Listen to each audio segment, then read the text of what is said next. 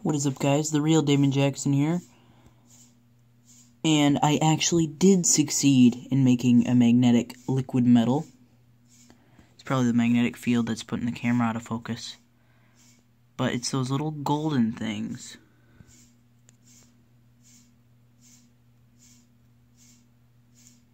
And as you can see, they are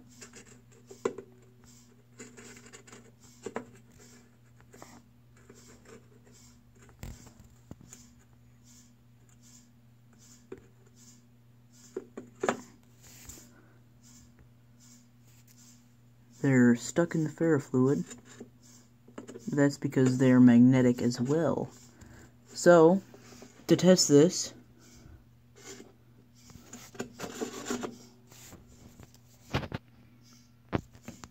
hold on. Alright, there it is. Sorry for the shaky camera. It's really hard to see with uh, all this magnetic interference and stuff. So there's the nuggets.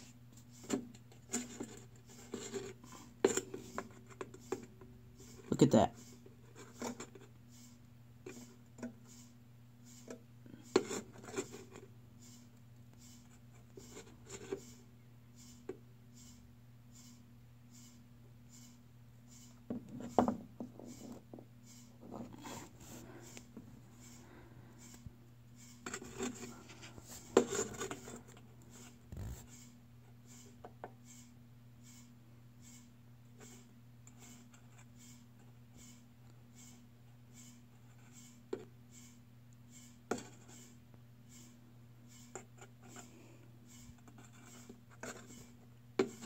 So you saw that drop.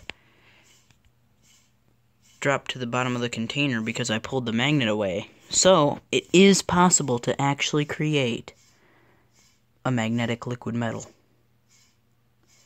It's a breakthrough in science. Watch, like, comment, and subscribe. Help me reach my goal of a thousand subscribers. And it is goodbye.